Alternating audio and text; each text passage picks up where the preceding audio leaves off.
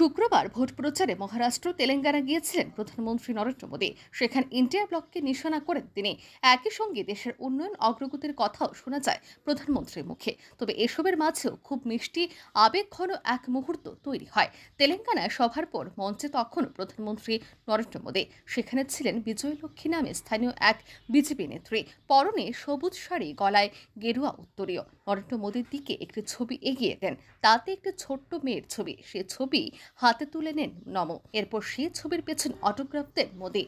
বিজয়লক্ষ্মী বলেন, আমি খুবই গর্বিত। আমার মেয়ে যশোধরা ওনার উপর একটি গান গিয়েছিল। মোদীজি রিটুইট করেছিলেন। এটা আমার মেয়ের জন্য অবশ্যই আশীর্বাদ।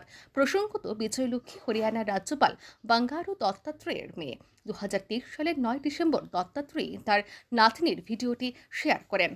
आई एम वेरी ग्लैड आज मैं मोदी जी ने साइन किया था ऑटोग्राफ दिया था ये फ़ोटो पर। मेरी बेटी बहुत खुश होगी। मैं विजयलक्ष्मी हूँ। जशोदरा ने उनके ऊपर गाना गाया था और मोदी जी रीट्वीट करे। तो ये एक आशीर्वाद है उनके लिए। Bureau report R news.